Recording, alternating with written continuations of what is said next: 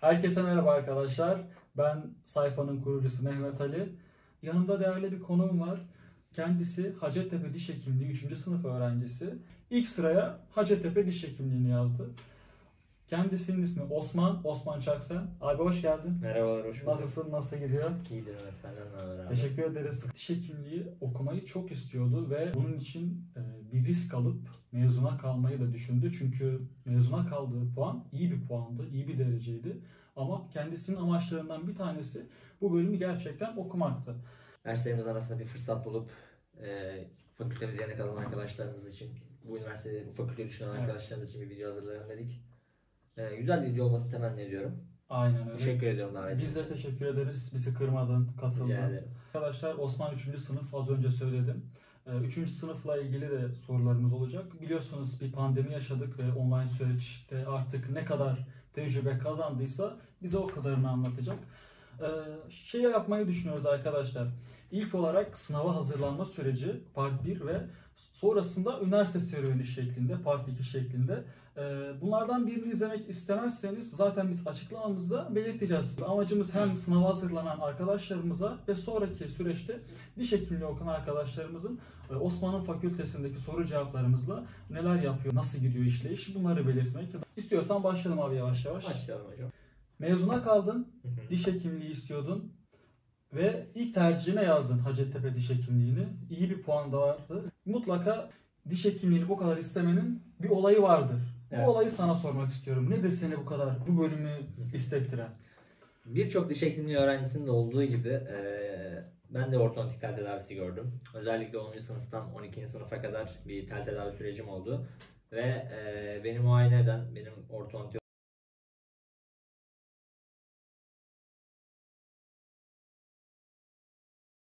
Yaklaşık hep böyle fakülteye kazanırsın, sen de asistan olursun gibisinden takılıyordu bana. Ve bana yaklaşımını çok seviyordum. Bazı malum hekimler var. Ee, hasta hekim iletişim becerisi düşük oluyor.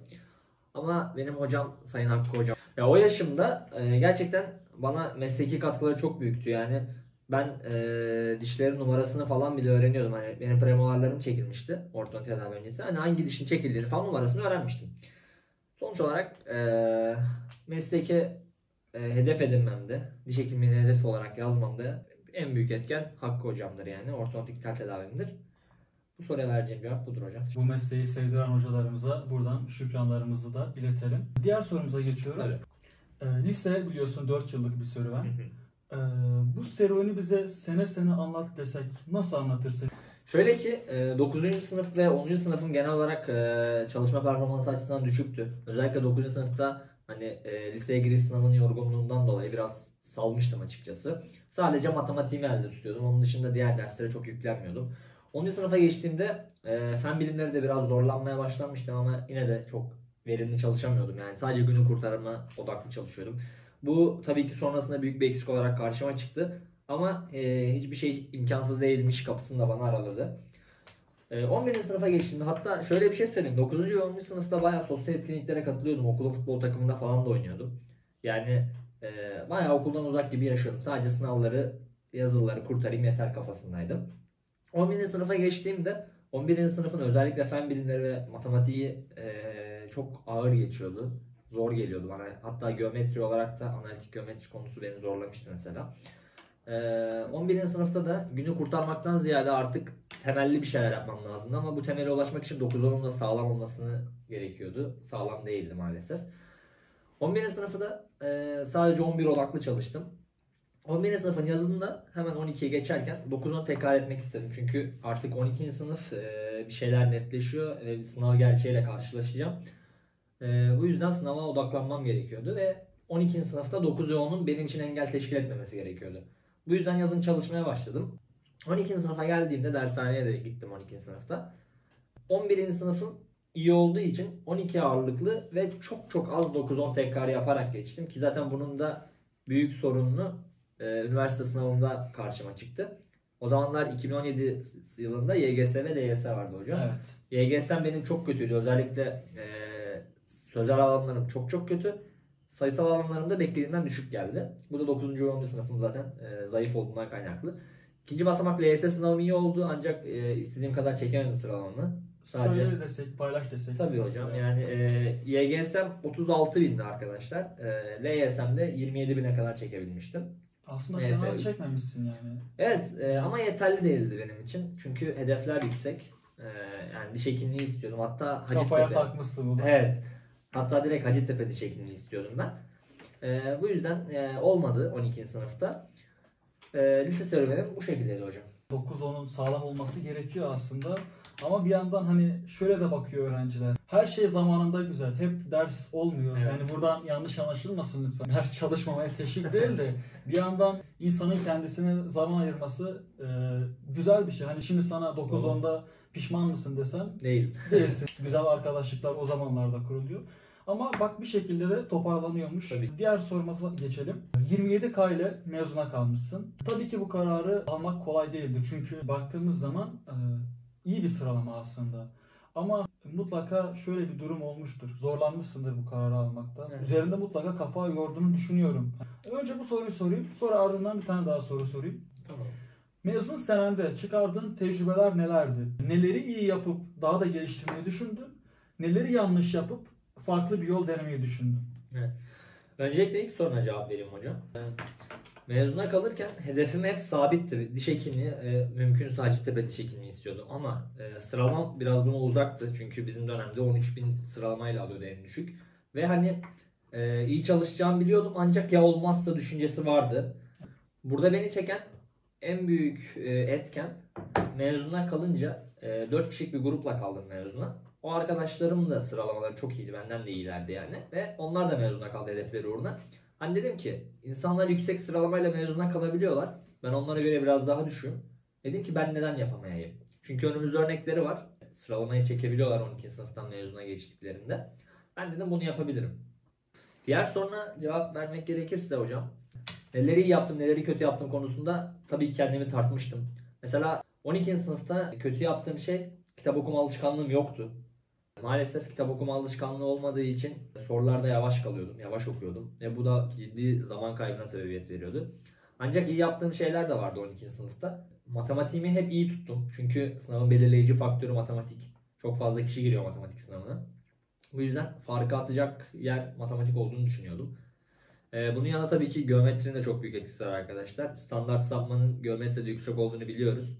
Bu yüzden matematik ve geometri odaklı çalışıp bunlara nazaran feni bir tık daha düşük ama onu da yüksek performansla çalışmaya dikkat ettim.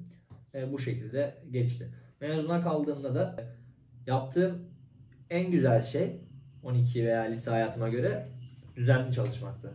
Yani Evet. eskiden sadece boş zamanında çalışıyorken mezunda bir düzen içerisinde çalışıyordum. Ve planımı o şekilde ayarlamaya çalışıyordum. Yani buradan çıkarabileceğimiz sonuç hiç olmazsa bile bir garanti dersiniz olsun. Senin matematikti, mesela benim biyolojiydi. Ee, sen mezun senende ekstra konu çalışmamasıdır matematikte. Yani Evet. çok azdır. Hemen de kavramışsındır. Tabii ki hiçbir şey bilmeden de kalınabilir ama yine de sen bu süreci kendi lehine çevirmişsin bir şekilde. Evet. Düzenli çalışmaktan bahsettin az önce. Aslında diğer sorumuzla da bağlantılı. Diğer sorumuzu da sorayım. Bize günlük rutinini anlatır mısın? Bize hem bunu anlatır mısın? Günde neler yapıyordun ve e, bunu nasıl sürekli bir biçimde idame ettiriyordun? Öyle bir soru Evet. soralım. Şimdi hocam şöyle fix 5 veya 6 saat uyuyordum. Çok nadir 6 saat uyuyordum ve gece geç saatlere kadar kalmıyordum. Çünkü e, sabah erken kalkıp ya kütüphane ya da dershane varsa dershaneye gidiyordum. Bu arada mezuna dershaneye gittim arkadaşlar. Bu şekilde erken kalkıp güne erken başlayıp mesela sabah öğlene kadar dershanem varsa öğleden sonra da en az e, kronometre hesaplayacak bir şekilde 6 veya 7 saat çalışıyordum. Evet. En az 6 saat çalışıyordum. Her gün bunu yapmaya çalıştım. Tabi dershane programına göre bu sabah 3 saat, öğleden sonra 4 saat par- gibi parça parçaya bölündü ama Evet, evet. en az 6 ila 7 saat hatta son zamanlara doğru 10 saate kadar çıkardım bunu. Çünkü dershane artık dersleri yapmamaya başladı. Dersler bitmiş olmuştu. Daha çok vakit kalıyordu ve ben de buna göre çalışma performansımı arttırmıştım. Günlük rutinde işte 6-7 saat ders çalıştıktan sonra e, her zaman en az 2 saat akşam dinlenmesi koyuyordum kendime. Evet. Bu dinlenmeyi de bazen kitap okuyarak gerçekleştiriyordum. Bazen de film veya dizi izleyerek gerçekleştiriyordum. Ama kitap okuduğum günler gece uyumadan önce kitap okumuyordum ama eğer film veya dizi izliyorsam her gece mutlaka yatmadan önce kitap okurdum. Ki bu da hızlı okuma açısından çok önemli arkadaşlar. Kitap okuma alışkanlığınızı edinin. Yani şu an sınava girecek arkadaşlara sesleniyorum. Gerçekten kitap okuma alışkanlığını elde ederseniz sınavda size çok ciddi zaman kazancı sağlıyor. Ben ilk senemde kitap okuma alışkanlığı kazanmamıştım. Mezuna kaldığımda bunu kazandım. Ve e, sınav sürecinde çok faydasını gördüm. Bunun dışında uyku düzenime te- tekrar değineyim. Çok e, dikkat etmek gerekiyor arkadaşlar. Ne çok fazla uyuyup ne de çok az uyumak gerekiyor. Tam ayarında uyuyun. Yani 7'yi geçirmemenizi tavsiye ediyorum arkadaşlar. Çünkü ne kadar çok uyuyorsanız o kadar çok yoruluyor vücut. E, bunlara dikkat edebilirsiniz. Onun dışında biz kütüphane serüvenimizde şey yapıyorduk. E, mesela ders çalıştıktan sonra kendimize kalan bir vakit oluyordu. Hani 1-2 saatlik vakitten bahsettim ya. Orada da PlayStation'a gidiyorduk. Gerçekten e, enerji atma açısından çok iyi oluyordu 6-7 arkadaşla beraber. Hani bu şekilde günümüz stabil bir şekilde devam etti. Beslenmeye çok dikkat ediyoruz arkadaşlar. Ben kahvaltıyı kesinlikle tavsiye ediyorum. Evet. Güne zinde başlamak için. Ee, günlük rutin hakkında söyleyeceklerim bu kadardı hocam. Teşekkür ediyorum. Bak, baktığımız zaman e, bunun yanına birçok şeyi de sığdırmışsın. Yani bu dengeyi sağlamak çok önemli ve bunu sürekli kılmışsın. E, açıkçası hani ben takdir ediyorum seni. Teşekkür ederim. Sürdürülebilirlik konusundan bahsettim. Ama elbette zaman zaman bu süreçte kırılma anları yaşıyoruz. 24 saatimiz aynı istek ve arzuyla geçmiyor ne yazık ki. Bu süreçte ya yapamazsam dediğin anlar olmuştur diye düşünüyorum mutlaka. Zaman zaman Evet. netlerin kötü gelmiştir veya başka bir sebepten ötürü her şey olabilir yani bu ister istemez durduk yere içini bir olumsuzluk kaplamıştır ya yapamazsam şeklinde. Bunları nasıl aştın? Nelere başvuruyordun diye sorsam sana. Yani evet zaten e, sınav döneminde 3 veya 4 kere bu duygu durumuna düştüm. Motivasyonum çok düştü. Buna bağlı olarak netlerim de düştü arkadaşlar. Ama en başta söylediğim gibi 4 arkadaş biz mezuna kalmıştık. Onların sıralaması daha iyiydi. Ve gerçekten birimizden biri düştüğünde diğerleri onu kaldırıyordu. Ben düştüğümde onlar kaldırıyordu beni ya da onlardan biri düştüğünde biz beraber kaldırıyorduk. Ve bu şekilde yolumuza devam etmeye çalıştık. Hepimizin düştüğü bir durum olmadı çok şükür. O olsaydı Evet. ne düşünüyorum Olsaydı. Bilmiyorum gerçekten. Ama sonuçta bir hedef var ortada yani. Ne kadar e, çalışırsak çalışa, ne kadar e, buna bağlı olarak motivasyonumuz ya da enerjimiz biterse bitsin sonunda mutlu olacağımızı biliyoruz. Ve hani hedef çalışılarak gelecek bir şey arkadaşlar ve çalıştıktan sonraki kazanç kesin yani. Eğer siz hak ederek çalışmışsanız yani çok çok yüksek ihtimal o hedefinize ulaşmış oluyorsunuz. E biz de böyle yaptık. Hep sonunu düşünerek devam ettik hocam. E, birbirimizi kaldırarak yolumuza devam ettik. Herkesin bir yöntemi var ve senin bu arkadaş çevrenin iyi olması ve bu süreçte arkadaşlarını iyi seçmiş olman sana ekstra bir avantaj sağlamıştır. Ee, düşeceğini bilmişsin ama nasıl kalkacağını da bilmişsin. Sınava büyük bir e, istekle başlıyoruz ama şunu da bilmemiz gerekiyor. Zaman zaman bizlerin de düşme noktası olacaktır mutlaka. Ee, bunu planlamamız gerekiyor. Hayatın her zaman şöyle hızlanarak motivasyonumuz sürekli artacak şeklinde değil de inişli çıkışlar olacağını bilmek, bunun farkında olmak e, mutlaka geri dönüş sağlayacaktır bize. E, önemli olan düştüğünde kalkabilmektir. Çünkü çok kişi, ne yazık ki çok arkadaşımız son zamanlarda özellikle düştüğünde bu şeyi bırakıyor, mücadeleyi bırakıyor. E, Bunun farkında olmamız lazım arkadaşlar. Sadece ders anlamında değil, dediğim gibi her türlü anlamda kendimizi sınava hazırlamamız gerekiyor. Teşekkür ederiz cevapladığın için. Diğer sorumuza geçelim. Netlerin ne zaman stabil olmaya başladı? Ya bu tabii ki kişiden kişiye çok değişen bir durum ama bence e, arkadaş çevremden de aldığım e, bilgiler doğrultusunda hocam son bir, bir buçuk ay kala netler gerçekten netleşiyor. Yani en azından taban ve tavan netler net belli Evet, oluyor. Bunların arasında gidip geliyor netler. Mesela benim TYT'de mezunda bizim TYT oldu sistemi arkadaşlar. TYT'de benim netlerim 85 ila 110 arasında değişiyordu. Taban ve tavanı buydu. Mesela AYT'mde 72 ile 80 arası değişiyordu. Hani bunlar en azından son bir ayda belli oldu. Son iki haftaya kadar bu aralık daha da sıklaşıyor. AYT bazında pek sıklaşmıyor. Çünkü o illaki 75'ten sonra yapmak zorluyor AYT'de biraz. Ama TYT bazında mesela bu durum mesela bir 105'e çekildi netlerim ve e, 90'a çıktı. 90-105 arasına düşmeye başladı.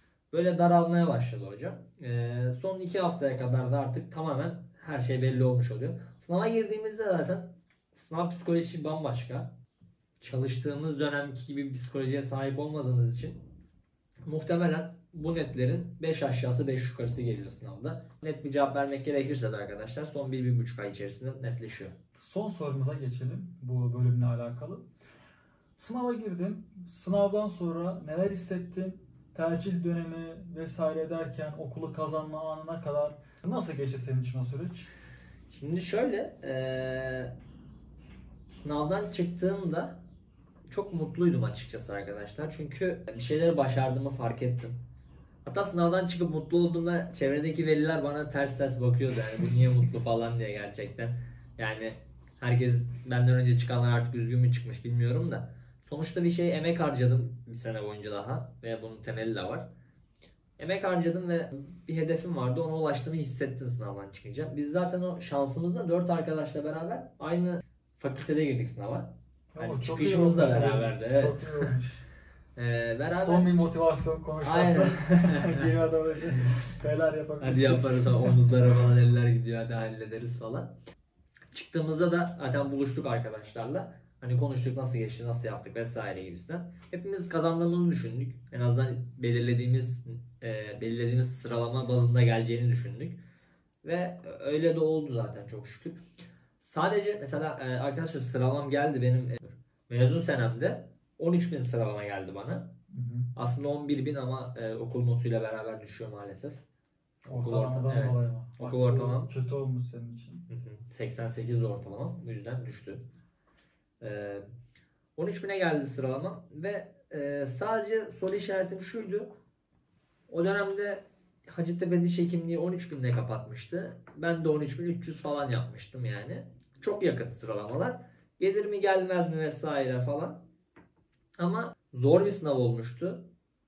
Bu yüzden puan şeyi değişmişti hatırlarsan. Önceden MF3 vardı. Evet. Şimdi 3 ve 4'ü birleştirmişlerdi. Sayısal puanı geliyordu. Yani aynen. 13 bin yapsan bile daha iyi yapmış da olabilirsin. Evet, süreçte. önündekiler çünkü aslında diş yazmıyor ya da tıp yazmıyor, Aynen. sağlık alanında yazmıyorlar. Bu yüzden sıralamalar biraz daha aşağılara çekilebilirdi üniversite bazında ki öyle de oldu zaten. Çoğu üniversitenin sıralaması düştü o yıl. Ee, ben zaten hani Hacettepe dişin geleceğini düşünüyordum o gün. Ee, ama hani sadece biraz sınırda olduğum için korkuyordum. Toplamda 8 tercih yaptım ve beklemeye başladım ondan sonra. Son ana kadar heyecanım yoktu aslında ama böyle e, illa bir açıklanınca bakarken heyecan olur ya hocam. O, o artık yani şeydir, değişmez Evet. bir kuraldır. Ona bakarken e, bayağı bir heyecanlanmıştım ama sonuçta geldiğini görünce böyle bayağı mutlu oldum. Genel anlamda güzeldi. Ondan sonra işte üniversite serüveni vesaire başladı ve böyle bitirdim sınav hazırlık sürecini. Ee, senin için çok sevindim gerçekten. Son olarak şöyle bir söylem isteyeceğim senden. Bizi izleyen arkadaşlara neler söylemek istersin son söz olarak? Arkadaşlar gerçekten e, hiçbir şey imkansız değildir. E, çalışın. Asla pes etmeyin. Her pes ettiğiniz yerde hedefinize daha çok sarılın. Çünkü e, bu sınavın tekrarı var evet ama her yıl değişiyor bir şeyler. Siz bulunduğunuz sene içerisinde kazanmaya bakın. Mezuna kalmak kötü bir şey değil. Ben de mezuna kaldım. Mehmet Ali hocam da mezuna kaldı. Evet. Ve mezuna kalınca mutlu son- mutlu sona ulaşanlardan birileri de bizdik yani. Yani sizler e, çalıştığınız kadar başarabiliyorsunuz. Bence hiçbir zaman pes etmemek gerekiyor. Özellikle ve özellikle söylüyorum kitap okuma alışkanlığınız olsun. Bu çok önemli sınav hazırlanırken. Onun dışında bunları yaptıkça ve düzenli olarak denemelerinize girin. Denemelere kaçırmayın. Çok fazla soru çözün. Ve e, sonunda da mutlu sona ulaşacağınıza eminim. Şimdiden hepinize iyi çalışmalar diliyorum. İyi çalışmalar arkadaşlar. Part 2 videomuzda görüşmek üzere.